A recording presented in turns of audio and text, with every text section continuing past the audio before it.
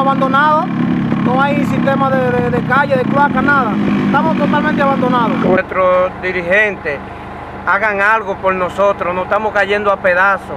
El barrio nadie, ni ningún, ni el síndico ha venido por aquí, ni los regidores, nadie nos da la mano. Nosotros necesitamos que nos, le metan mano a, a la calle y a la luz. Estamos pasando pilas de trabajo, no hallamos ya qué hacer. Cuando llueve no podemos ni entrar. Estamos, mire, la luz se nos va todos los días. Eh, nosotros no tenemos agua, no tenemos la calle tan destruida.